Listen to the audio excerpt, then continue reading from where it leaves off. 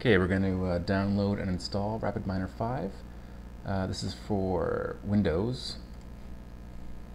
Uh, I got Windows XP on 32-bit. But uh, yes, yeah, so open up your web browser, go to rapidminer.com.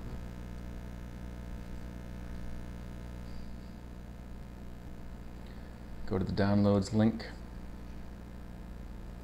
You're going to want to get the community edition, which is free and open source. Windows 32, hit uh, the download link. That'll open up their uh, registration page. So fill that form in, you just see your name and email. Hit proceed with download. That'll redirect you to SourceForge and uh, download the file. It's uh, take about six minutes or so. Now once that file is magically downloaded uh, to your desktop hopefully, right click it, hit open, and run and I'll run you through the setup wizard, hit next, agree to the license, default destination folder is fine, and it takes a minute or so to install.